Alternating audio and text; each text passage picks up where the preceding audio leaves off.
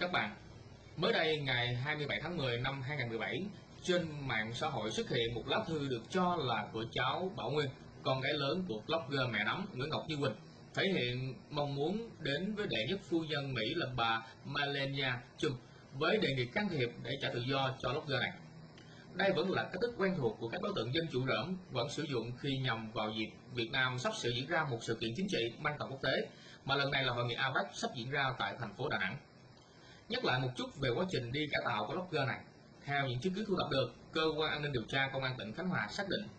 từ tháng 3 năm 2009, Nguyễn Ngọc Như Quỳnh tham gia tổ chức phản động người Việt yêu nước và đã thực hiện nhiều hành vi tuyên truyền xuyên tạc, đã kích đường lối, chính sách của đảng pháp luật của nhà nước nhằm phá hoại khối đại đoàn kết toàn dân tộc dưới vỏ bọc đấu tranh nhân quyền. Blogger này cũng đã nhiều lần bị xử phạt hành chính về các hành vi lợi dụng quyền tự do dân chủ để lôi kéo kích động người khác xâm phạm lợi ích nhà nước, quyền và lợi ích hợp pháp của tổ chức cá nhân và hành vi gây rối trật tự công cộng. Với những hành vi pháp vi phạm pháp luật của mình, blogger này đã phải nhận bản án 10 năm tù về tội tuyên truyền chống nhà nước Cộng hòa xã hội chủ nghĩa Việt Nam theo điều 88 Bộ luật hình sự. Các chứng cứ buộc tội và kết tội đối với Nguyễn Ngọc Như Quỳnh đều rõ ràng. Đây là một bản án phù hợp với quy định pháp luật, thể hiện sự trừng trị nghiêm minh của pháp luật đối với những hành vi xuyên tạc, kích động, phá hoại khối đại đoàn kết toàn dân. Sau khi Quỳnh bị bắt và tuyên án, đã có nhiều các đối tượng a vua hùa theo để bày tỏ những chính kiến của mình từ đám dân chủ rỡ, các vị luật sư cho đến nhiều tổ chức cá nhân nước ngoài can thiệp vào vấn đề này. Từ đó cũng dẫn đến nhiều tình huống nực cười khi Quỳnh được vinh danh, khi thì giải giảng quyền, khi thì giải phụ nữ can động bởi các tổ chức bình phong do những quốc gia thù địch với Việt Nam dựng lên. Tuy nhiên,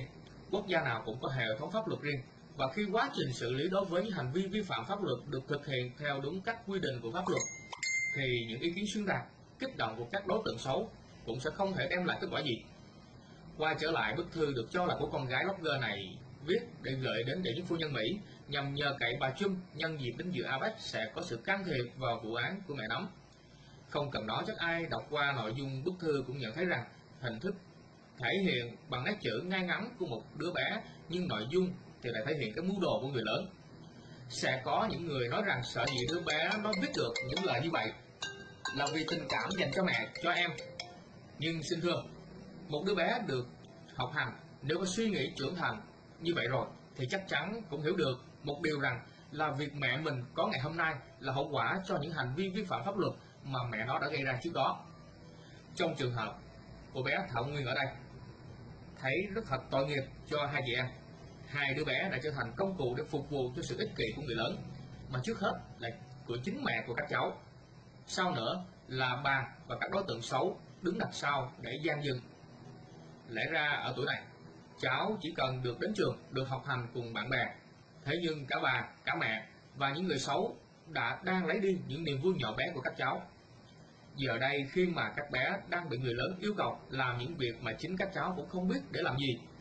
Trước là mẹ, giờ đến bà ngoại vì đồng tiền của đám rần chủ mà nhẫn tâm lấy đi tuổi thơ, lấy đi sự ngây thơ, hồn nhiên mà các cháu đáng được hưởng như các bạn cùng trang lứa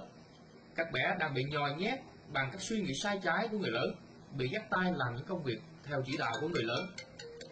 Hãy trả lại tuổi thơ sự hồn nhiên của các bé, đừng biến các cháu nhỏ vô tội trở thành những công cụ phục vụ cho các âm mưu, ý đồ xấu xa, ép các cháu trở thành một trong một trò chơi chính trị của người lớn.